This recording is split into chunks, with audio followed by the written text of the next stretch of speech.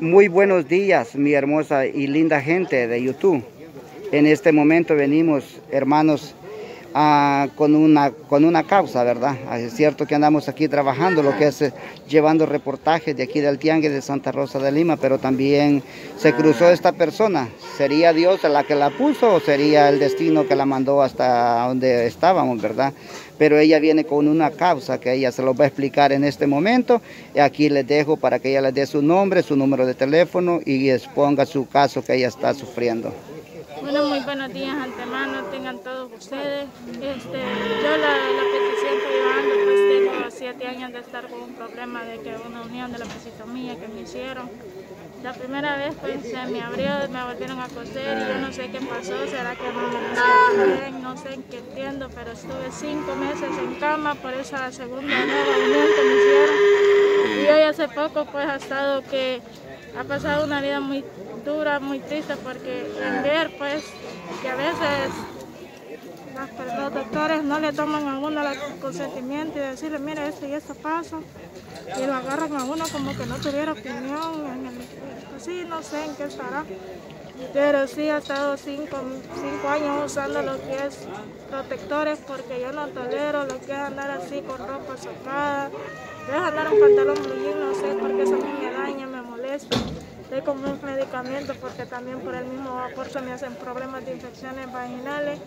Entonces veo una vida bien crítica para mí porque aquí ando un medicamento también, que es el que estoy tomando para mientras, que es el que me ayuda para el fútbol.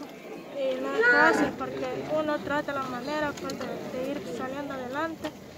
Entonces yo lo que ando ahorita tocando puertas es para poder hacer una operación porque a mí me dicen que si no me trato de operar, es peligroso un cáncer. Entonces estoy dispuesta a muchas cosas. Si salgo tengo que andar de vuelta luego porque no puedo andar aguantándose no puedo andar aguantando la ganas de hacer porque no puedo andar así por, por, el mismo problema, por una infección o algo más. Entonces yo ando tocando puertas para ver cómo puedo tener la operación si no la puedo hacer luego así, porque en los hospitales ya nadie dicen que ahorita no, porque por la situación que estamos ahorita, pero ya lo mío ya no es esperar, porque yo ya no ajusto ya para comprar medicamentos por la infección. Entonces yo lo que pido es que si hay personas de buen corazón que me puedan ayudar para que yo pueda hacer realidad la operación pues, y, y cambiar mi vida y mi sufrimiento, porque son siete años de este problema. Tengo miedo de un tétaro calcerino que se me puede hacer también. Hay muchas cosas y cárcel así con una parte íntima, uno tiene que tener cuidado porque los cánceres están a la orden del día y uno tiene que saberse cuidar uno. Así uno tiene hijos, pues, uno por los hijos que se cuida. Tengo mis dos niñas, la mayor de 7 años y la otra de un añito, entonces yo por ellas es que ando luchando para poderla ver crecer y no quedarme así nomás. Entonces yo pido de personas de buen corazón que tengan la voluntad de ayudarme, que lo hagan. Y que aquí está pues la que me salido en la ultra, que me dieron indicaciones de que está nomás abierta. y esto es lo que solo nomás lo que dicen que hay que tejer nuevamente.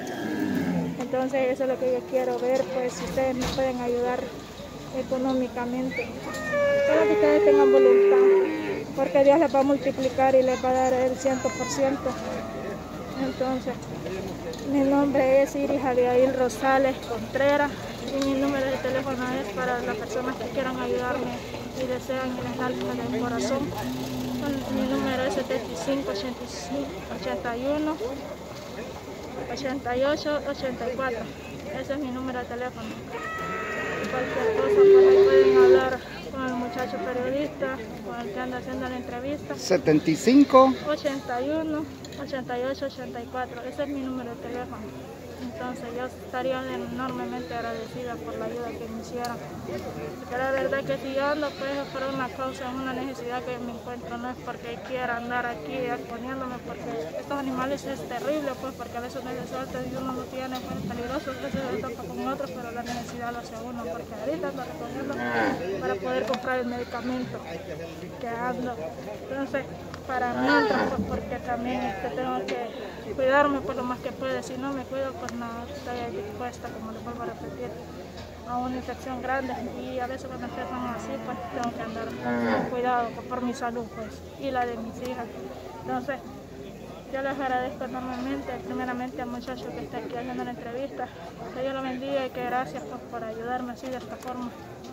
Y gracias a ustedes, las personas que van a estar viendo el video. Ya escucharon mis hermanos las palabras de esta joven, ¿verdad? Que está exponiendo su caso frente a las cámaras, ¿verdad? Y exponiéndolo porque yo le dije que si quería que hiciéramos la entrevista, ¿verdad? Yo sé que hay gente que está dispuesta a ayudarle porque ya hemos demostrado, ya hemos hecho ah, con mi hermano Rey, hicimos este, lo que estábamos haciendo, un proyecto que teníamos en mente de unas personas, así es de que ahora vengo